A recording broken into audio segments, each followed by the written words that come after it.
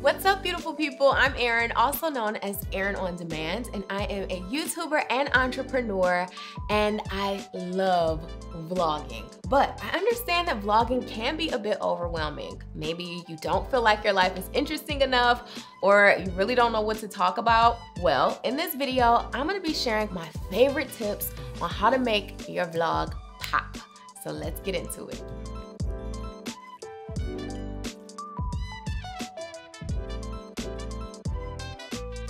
Now let's talk about how to actually come up with ideas for your business's vlog. When it comes to vlogging, a lot of people do struggle with wondering what's interesting about themselves. Like, what's interesting about me? What's interesting about my business? Enough for me to feel confident to vlog about it. I even struggled with that too. When I started my channel, I didn't vlog because I was still living at my parents' home. I was building my business in a corner of a room and I just didn't know what would be interesting to me. I was seeing a lot of other entrepreneurs who had cool office spaces and who were, you know, really a lot further in their businesses than I was. And so I felt that there was not really much for me to capture. But I really realized that there weren't a lot of people showing at the stage that I was. And that was all the more reason for me to pick up my camera and show that side of entrepreneurship. And so I really encourage anyone small business owners, even larger business owners who struggle with feeling like what makes me interesting enough to vlog or just feeling overwhelmed by, you know, maybe if you have a large company, you feel overwhelmed with who to even pick to run your vlog channel. I just want to encourage you that there is always something or someone interesting to document about your company or your business's journey. The golden rule about vlogging is that anything really can be interesting. It's really about how you frame it, how you show and tell it, and the audience that you're really trying to connect to. So the bottom line is it's all about connection. And as long as you have that, you are definitely on the right track.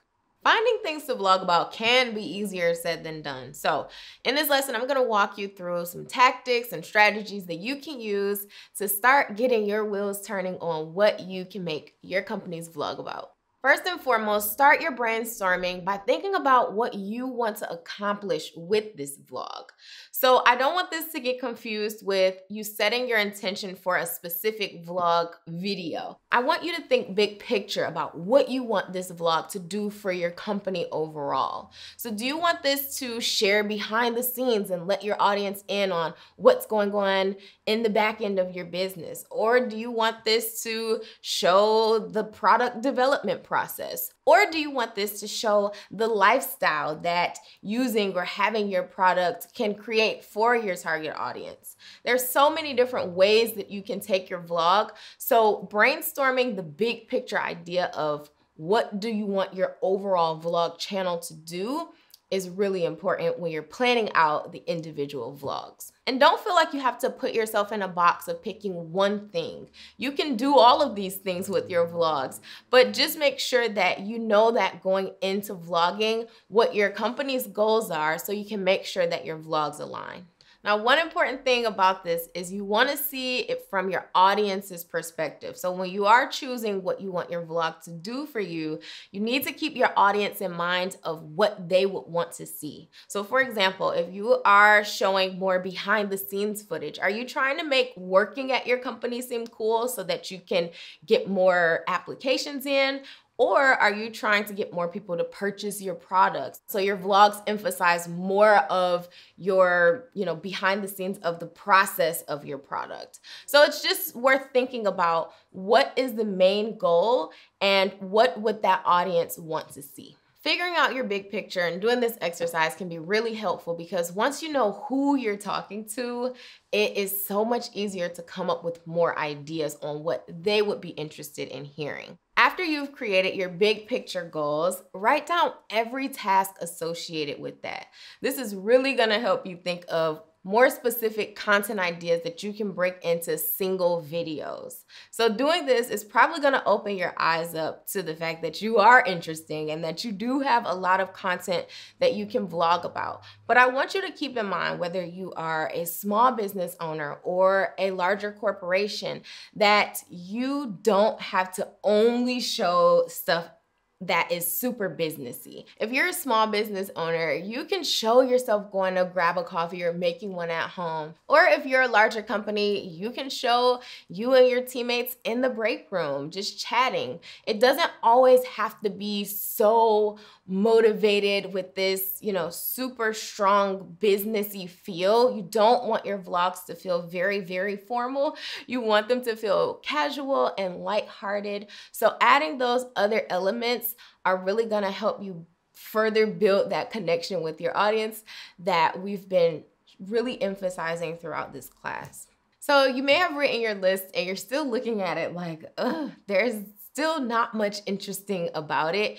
Maybe you feel like you're so in the routine of doing these tasks that there's just not really a, an exciting approach to it. I say start with a vlog where you are excited about whatever it is that you're gonna be doing that day. Or start with the most exciting approach you may have to your job. Maybe you do it a little bit differently than other people and you can share it from that angle. It's not necessarily about sharing every single thing that you do throughout the day.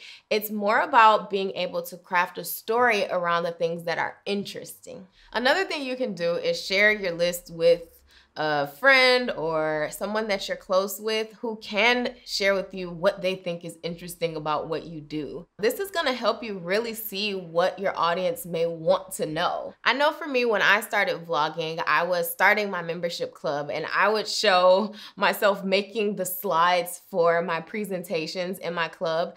And so many people were really into that, which I thought was boring, but when it's someone who's watching who's maybe never seen that before or doesn't have experience doing that, their fresh eyes are going to think what you're doing is pretty cool. And if you're also thinking that you just kind of do the same things over and over again, another cool thing about vlogging is that reiteration actually builds more connection and trust. So a lot of my audience expects me to wake up in the morning and write my top three priorities for the day down every single day. They know that about me. And when you do things repetitively on your vlogs, it makes your audience feel like they know your routine now and that they've deepened their connection with you. So it's okay if you feel like some things in your vlogs have been repeated. You don't have to reinvent the wheel for every single vlog. Looking back, when I started vlogging, I really wanted my audience to know that you don't have to be perfect to get started. And that was really my goal with the vlog was to show that I was starting from the ground up and I wanted people to see what entrepreneurship looked like from a very, very early stage. Another big goal that I set was to share about my products and services in the vlogs because I knew that the more comfortable they were with me and getting to know me, that that was a really easy way for me to get them comfortable with the products and services that I offered. So based on my big picture goals, some of the tasks that were on my list were showing day in the life videos. I wanted people to know what my day-to-day -day routine looked like. I also wanted to show people how I planned for meetings, what I did inside of my meetings, or you know how I created proposals for my clients. These are all things that one would inform them, but also would make them feel comfortable with me, which were both of the goals that I had. Another way you can plan your vlogs is to step out of your day-to-day -day routine and think about some exciting events or activities you have planned for your business. So I know for me, I love doing brand photo shoots and that's when I, you know, go get my makeup done, my hair done, plan my outfits out and I go get new professional photos for my website and for my social media. And so when I do those, I love to vlog because it's super exciting. It's not my day to day wake up, you know, fix breakfast.